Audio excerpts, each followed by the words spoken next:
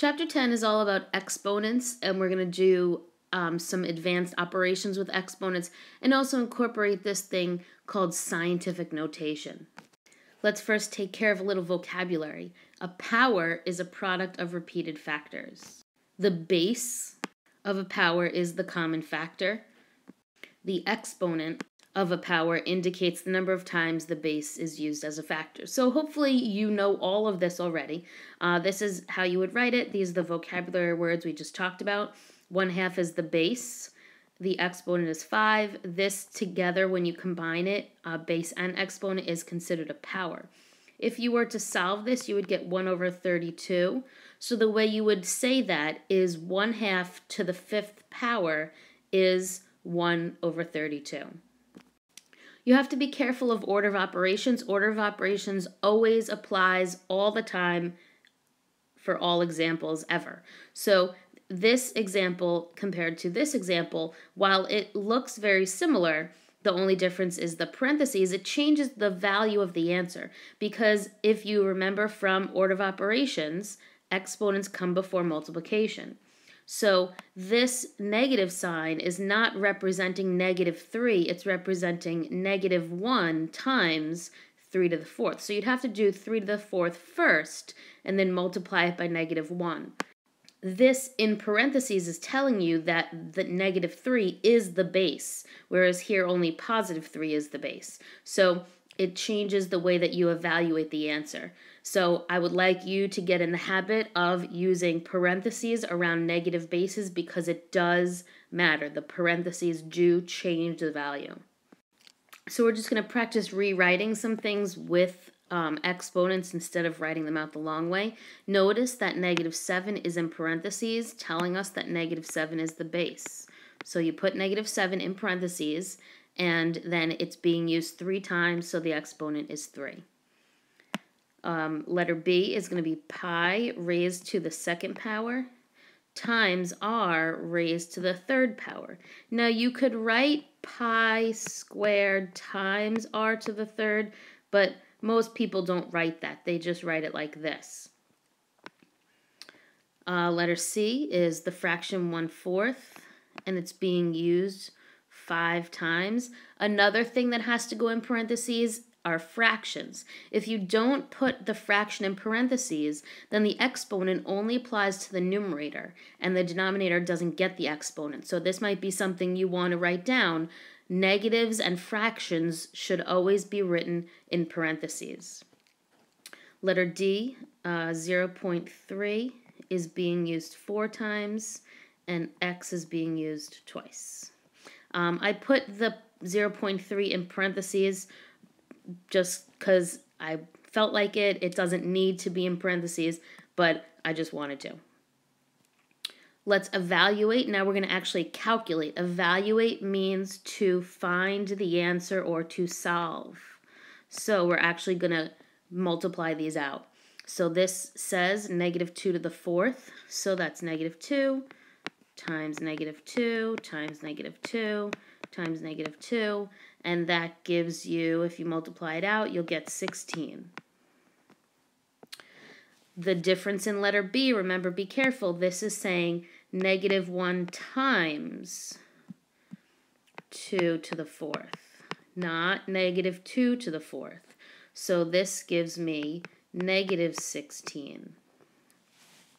Let's write out letter C, negative 1 sixth times negative 1 sixth times negative 1 sixth. So here we go. Negative 1 times negative 1 times negative 1 is negative 1. 6 times 6 times 6 is 216. And again, let's be careful with the negative sign. This is saying negative 1 times 5 to the fourth.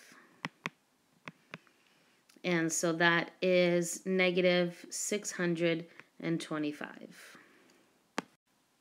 When we get to questions where we have to do multiple operations in one question, you always follow the order of operations. When do you follow the uh, order of operations?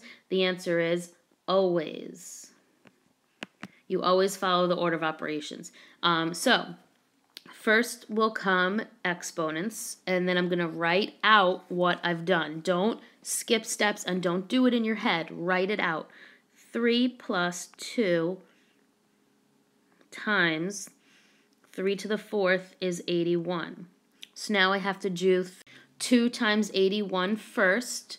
So that gives me 3 plus 162. So the answer is 165. Follow order of operations. Now I go to letter B. I have two things that have exponents, so I can do those at the same time. 9 minus 64 divided by 2, and I still have to follow order of operations, so I get 9 minus 32, and that is negative 23.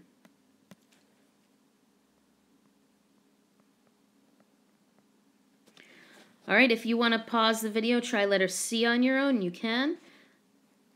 Let's do it together if you don't want to. I have to do exponents first. 2 to the fifth is 32 times 0.5. I chose to use parentheses because I didn't want to have two dots next to each other. It would just look weird to me. Um, so now I have to do multiplication. 9 minus that is 16. 9 minus 16 is negative 7. Order of operations means do the parentheses, then do the exponents, multiplication, division, addition, subtraction. Now, do you remember what these vertical lines mean? If you don't, write it down. They mean absolute value. Now that I say absolute value, does that mean anything to you? Hopefully it does. It means your distance from zero. So when we get our answer, we'll calculate the distance from zero. Absolute value um, lines function the same way that parentheses do, so I have to do what's inside of it first. Then once I get a number, then I will find its absolute value. So here we go. I have to do exponents first, and this right here tells me negative 1 times 3 to the third divided by 27. So 3 to the third is negative 1 times 27 divided by 27. And then multiplication and division go left to right. So negative 1 times 27 is negative 27 divided by 27 is negative 1. Now don't forget we had absolute value, so we got to bring in my absolute value lines, and the absolute value of negative 1 is the number 1. Its distance from 0 is 1. All right, last example together. In sphering, a person is secured inside a small hollow sphere that is surrounded by a larger sphere. The space between the spheres is inflated, so that's this space here and the person is in here. So they're rolling down this hill in in this while the ball is rolling. What is the volume of the inflated space? Now, now you can look up the formula for the volume of a sphere. It's 4 thirds pi r cubed. So that's my formula, and now I just have to know how to plug it in. So I'm going to plug in the information from the picture which is here, and they want to know the volume of this. So how do you think we find the volume of this right here?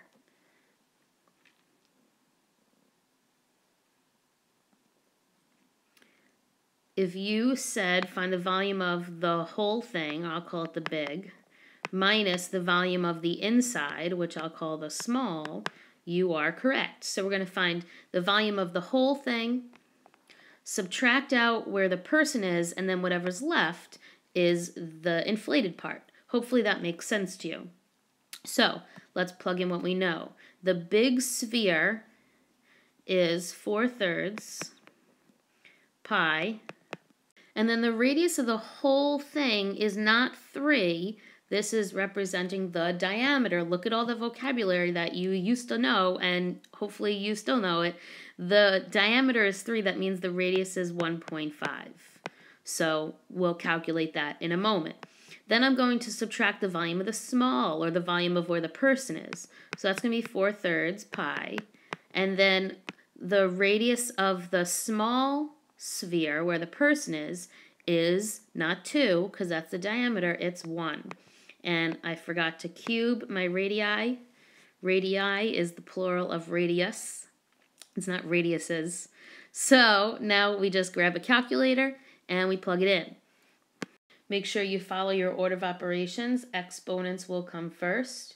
So that's 4 thirds times pi times 3.375 minus 4 thirds pi. Well, I could do 1 cubed in my head. Duh, that's just 1.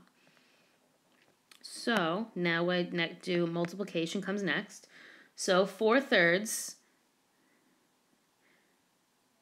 times pi times 3.375 is, I'll do a couple decimals, 14.137155